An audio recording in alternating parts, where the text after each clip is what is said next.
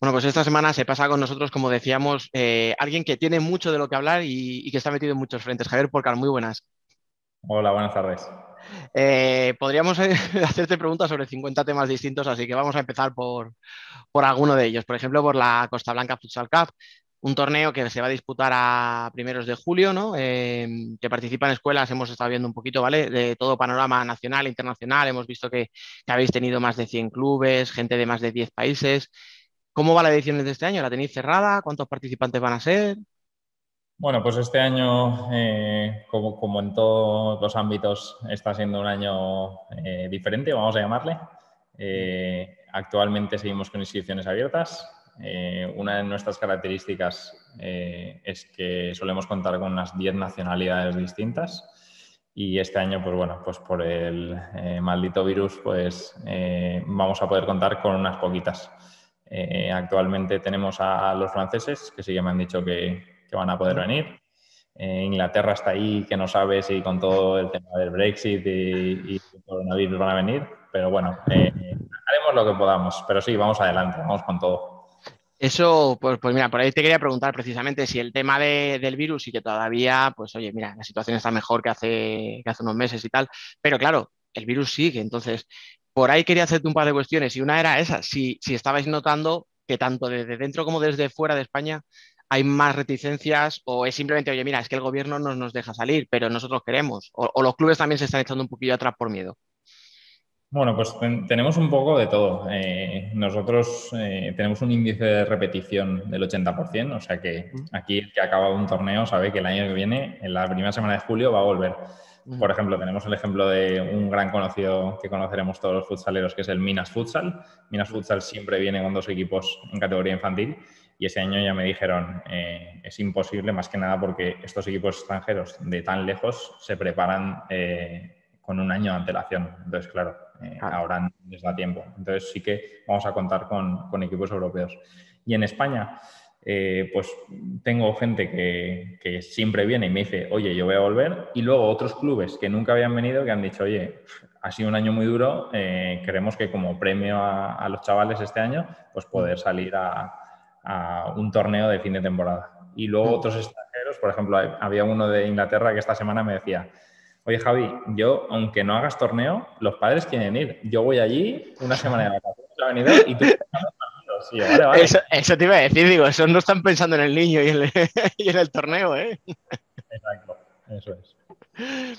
Bueno, a ver, al final eh, hay, muchos torneos a lo largo de, siempre en verano, ¿no? Es como un periodo muy de, buscar torneos, de, sobre todo pues para chavales que llevan todo el año jugando y, que este año a lo mejor incluso con más ganas todavía lo van a coger porque durante el año o no han podido jugar, algunos han empezado torneos eh, regionales, han empezado en enero o se han suspendido y tal. Em, ¿Qué es lo que hace que el Costa Blanca Futsal Cup sea tan, tan especial? Venga, véndete, va. ¿eh? No, yo creo que torneos hay un montón, como tú has dicho, pero yo creo que, nosotros somos, somos únicos, te diría. No somos ni mejores ni peores que otros. Hay, unos súper buenos, pero nosotros somos diferentes por el hecho de que están una semana eh, conviviendo con gente de diferentes nacionalidades eh, aparte de fútbol sala, hacemos torneo de fútbol, de fútbol femenino, fútbol sala femenino, de inclusive. Eh, hemos metido este año y vamos a hacer, pero nada tiempo, uno de fútbol sala para ciegos. Entonces están una semana conviviendo eh, en los mismos hoteles, en el comedor, en la piscina, y de paso juegan a fútbol sala, pero se llevan un paquete de experiencias que, que no se olvidan nunca. Sí, y además en, una zona que no se vive tampoco mal, ¿verdad? Exacto. Hay gente que de verdad nos elige solo por el destino. Hay padres, muchos padres dicen, no, no, mi hijo va a este torneo porque yo me voy a pegar la semana de vacaciones en Benidorm. y el niño que me lo cuiden otros. Oye, hablamos de un torneo que al final lleváis ya, esta va a ser la edición número 15 de 2005, si no me equivoco, ¿verdad? Eh, o sea que es un proyecto ya estable, pero claro, llega la pandemia, llega el virus, el dichoso 2020, que queremos olvidarlo, pero, pero no podemos. Eh, ¿cómo, se vivió y cómo pudo afectar al proyecto todo lo que sucedió el año pasado? Bueno, pues como tú dices, eh, el torneo, la idea nace hace 27 con el fútbol y desde hace 15 se incorpora el fútbol sala. Eh, yo estoy como director del torneo desde hace tres años, cuatro, aunque yo jugué la primera edición he ido escalando y ahora estoy dirigiéndolo. Y bueno, veníamos con una línea ascendente de, creciendo con muchos equipos cada vez más. Incorporamos el futsal femenino, eh, llegamos a tener hasta tres categorías. Mm. Y fue todo, íbamos a ir creciendo y de repente nos pararon todo. Y entonces dijimos, madre mía, nos tuvimos que reinventar, hacer cosas por internet, charlas. Pero sí, se nos ha quedado un poco eh, ese parón ahí. Pero bueno, como yo digo, eh, esto es para coger carrerilla para ahí volver mucho más fuerte, seguro. Oye, ya, claro, el año pasado no se pudo, este sí, como decíamos al principio, hay que tomar ciertas medidas, ¿no? Ciertas precauciones. Eh, me imagino que todo esto es otro reto, ¿no? O sea, que, no solo ya organizar un torneo, sino además un torneo seguro, que lo he leído muchas veces, ¿no? Lo de hagamos un torneo seguro. Exacto, estamos colaborando con la Universidad Politécnica de Valencia, que con el Cátedra del Deporte nos está desarrollando unos protocolos y el problema que nos estamos encontrando es que empezamos hace tres meses a desarrollar esos protocolos, pero es que semana a semana los tenemos que ir actualizando. En esta última eh, que han sacado, ya decían que podíamos hacer eventos de hasta 4.000 personas al aire libre. Nosotros, dentro de la semana, uno de los puntos fuertes que tenemos, que más eh, les gusta a los chavales, es una ceremonia de inauguración, que hacen un desfile y luego ya en un anfiteatro. Claro, en ese anfiteatro nosotros tenemos unos 4.000 participantes, pero esto la semana pasada no, lo podíamos. Claro, entonces teníamos opción A, B, C y D. Esta semana.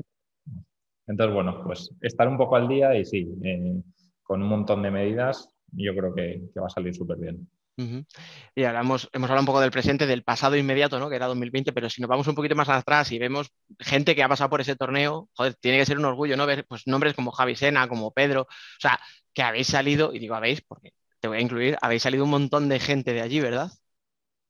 Exacto, la verdad es que sí. Eh, yo me acuerdo de la primera edición que fuimos, éramos súper poquitos equipos. Con Javi Sena y con Pedro, justamente son, son de mi generación y eran de mi equipo. Lo que que ellos eran los buenos y yo no era. Oye, cada uno era bueno en una cosa. Exacto. Y, y, la verdad es que sí, es un orgullo, tanto masculino como femenino. Y no solo nacionales, también hemos tenido jugadores internacionales y la verdad es que eh, es muy guay que, bueno, que, sea, que veas ese camino desde la base a, la élite. Oye, y si hablamos de ex jugadores de ese torneo en tal, Alberto Porcar, que me imagino que te sonará. Yo cuando no os conocía ninguno de los dos, eh, contigo estoy hablando ahora por primera vez, a tu hermano no he hablado nunca con él, pero yo veo los Twitter y veo uno que es don Javier Porcal y el otro es Porky13. Digo, hostia, ya sé quién es el serio y quién es el bromista de la familia, ¿no? No, no, pues te sorprendería. Yo, yo, soy, yo soy el malo jugando, mi hermano es el bueno, yo soy el que, el que lleva la guasa y mi hermano sí que es más, un tío más serio y, y más profesional. Pero sí, familia futsalera. Eso te iba a decir, o sea, las comidas de los fines de semana tienen que ser para, para, para la familia un coñazo, ¿no? Dirán, pero ¿quieres dejar el fútbol sala ya pesado todo el día? Exacto. Y a mí cuando me preguntan, mi abuela me pregunta, ¿qué tal ha sido el examen a tu hermano? Le abuela, yo le llevo la parte del fútbol sala, yo exámenes a la mamá. y ya no, y no me metas en más jaleos. Oye, y hablando un poco más en serio, ahora que hablamos eso, ¿no? De meterte en más jaleos, tienes un currículum, o sea, impresionante, porque empiezas a ver y sales como fundador en un montón de proyectos o como cofundador en un montón de proyectos. Eh, ¿Qué es lo que hace una persona estar constantemente buscando esa innovación, esas ganas de estar cambiando de, cosas, o sea, de proyectos cada día? Bueno, como, dice mi novia, dice que yo soy un hiperactivo no diagnosticado. Sumándole eso, a que me encanta el, deporte, que por ello he estudiado, pues bueno, eh, soy culo inquieto y siempre tiene que ir haciendo cosas nuevas, pensando cosas nuevas, aquí cómo podemos mejorar, esto no está, lo podíamos hacer y sobre todo eh, de fútbol sala que al final es, es algo que juego y lo que me gusta de verdad. ¿no? O sea, escucha, había el típico niño hiperactivo que lo que hacía era destrozar la casa y luego está el niño hiperactivo que se convierte en un adulto que eh, no hace más que promover el fútbol sala. Oye, pues bendito sea la hiperactividad entonces. Exacto. Dicen que he madurado, me decían mis entrenadores. ¿Has madurado? yo, bueno, sigo igual de maduro, pero sí. Pero ahora hago cosas que sirven para algo. ahora es productivo además, ¿no? Oye, hablando de proyectos, eh, vamos a hablar del otro gran proyecto, ¿no? Del que eres director deportivo, el Futsal Pro 5, que es una marca que comercializa el futsal en el grupo Global Fútbol Total, no sé si lo he dicho bien. Eh, tenéis como principal socio Levante. y, esto, todo esto dicho así, para un tío como yo, que se pierde enseguida con la terminología, llevado a, la práctica, ¿en qué consiste realmente? Bueno, pues como tú has dicho, eh, Global Fútbol Total es, una empresa que tiene paquetes formativos, eh, lleva trabajando varios años en fútbol y tiene al Levante como eh, Sports Partner y, hacen programas formativos para, bueno, pues, pues, para todo lo que se nos ocurra. Entonces, desde hace, bueno, justo antes de la pandemia, me llamó el club, el Levante, y me dijo, oye, tenemos esta parte en fútbol, ¿por qué no desarrollamos la parte en fútbol sala? Y dije, bueno, pues como tengo cinco minutos los domingos, vamos a aprovechar. si va sobrado, ¿no? vamos a aprovecharlos y, vamos a por ello. Entonces, bueno, eh, tenemos la suerte de que tenemos una, estructura ya hecha, eh, unos programas en funcionamiento. Entonces, bueno, era pasarlos un poco al fútbol sala.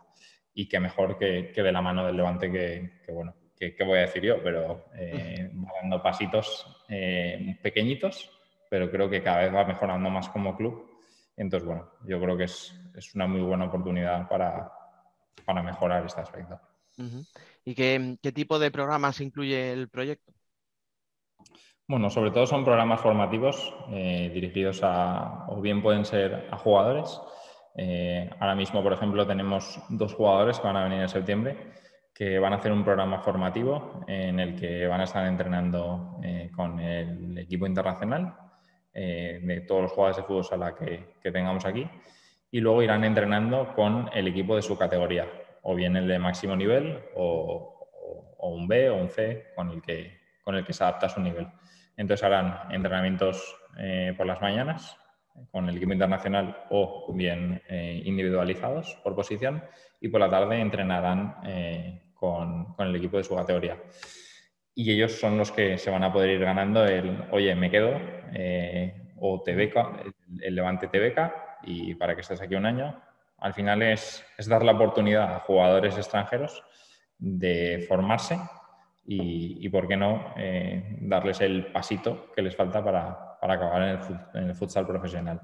Mm. Eso es en cuanto a jugadores, pero luego tenemos paquetes para entrenadores, eh, paquetes para clubes, eh, también tenemos, hacemos clinics, hacemos asesoramiento deportivo a clubes. Me imagino que, bueno, eh, los del mundo del fútbol sala habéis escuchado eh, que se firmó un convenio con, un club de Malasia, del Príncipe de Malasia. Pues bueno, ahí vamos a hacer un proyecto de, asesoramiento. Entonces, bueno, pues, pues toda la formación que se nos ocurra la hacemos desde Futsal Pro Hive. O sea, es un poco, es el reflejo de lo que eres tú. O sea, tocáis todos los palos, no, no nos conformáis con hacer una cosa, queréis estar en todas las partes, ¿no? y ayudar en todos los, en todos los sectores, digamos, ¿no? Eso es, sí, al final eh, eh, Dani Pastor es el director eh, del área de formación internacional del Levante.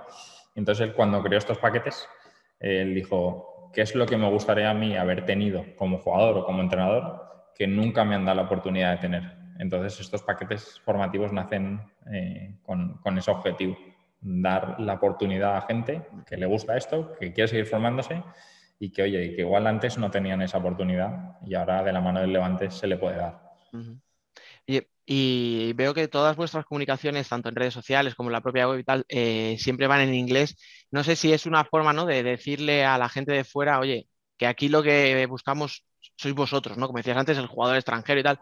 No sé si es también una forma de, pues eso, ¿no? De, dar de entender a la gente que no os vais a limitar a algo nacional, sino que sois más globales, como incluye la, eh, propia nomenclatura, ¿no? Como decíamos antes, Global Fútbol Total, y, hasta qué punto eso es importante, ¿no? Para vosotros. Sí, exacto. Nuestros paquetes sobre todo están dirigidos al jugador eh, internacional. Puede ser de habla inglesa, que al final es el idioma universal, o de habla hispana. Eh, cuando lanzamos el proyecto en redes, lo lanzamos aprovechando la Copa de España y muchos me preguntaban, pero eran eh, jugadores españoles.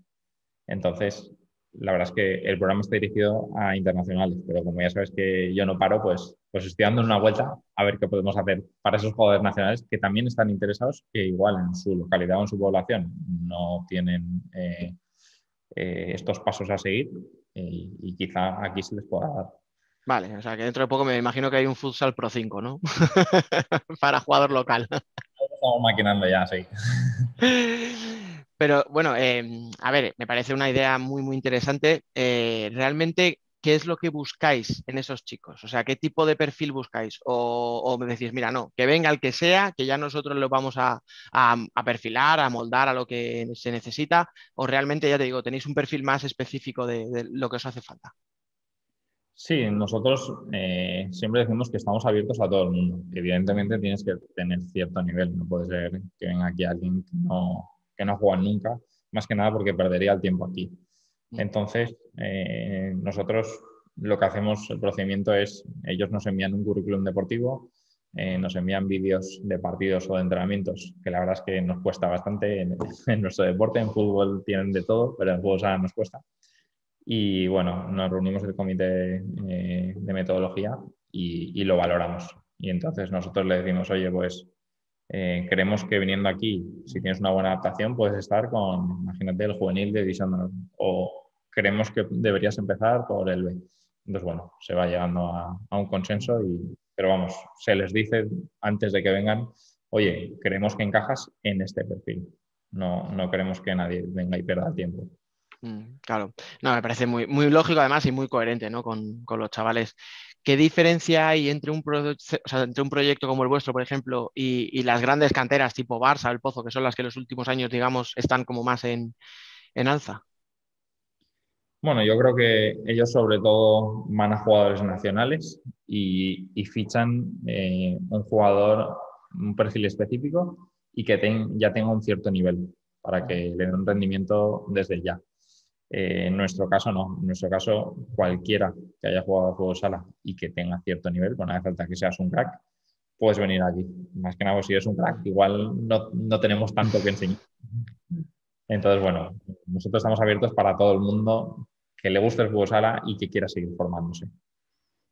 Muy bien.